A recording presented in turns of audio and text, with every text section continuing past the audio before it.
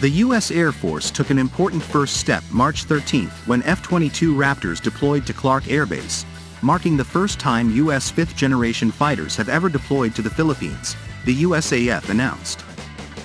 This was the first time that F-22s, or any fifth-generation aircraft, have landed on and operated out of the Philippines, Captain Carl Schroeder, a Raptor pilot assigned to the 525th Fighter Squadron, said in an Air Force news release. This milestone with a regional ally aids in providing stability and security to the Indo-Pacific.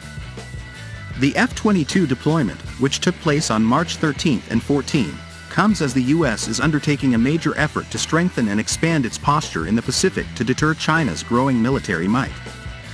Secretary of Defense Lloyd J. Austin III secured access last month to four bases in the Philippines, though discussions still need to be conducted between the two countries on how they might be improved and used.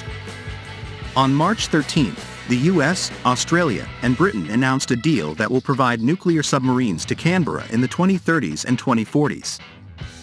Under that pact, US and British attack submarines are to rotate through a base near Perth, Australia, starting in 2027.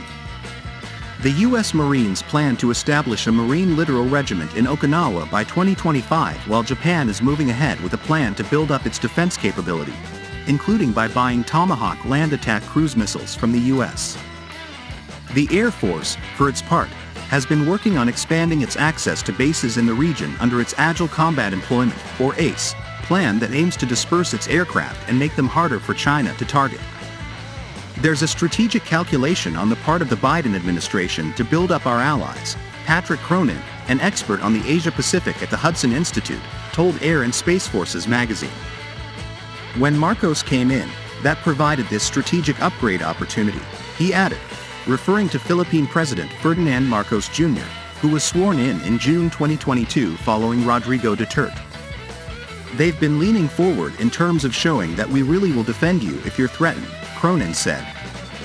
The fact that we had brought F-22s now into Kadena meant it was easy to deploy to a place like the Philippines on a mission and on exercises, so that also made it possible.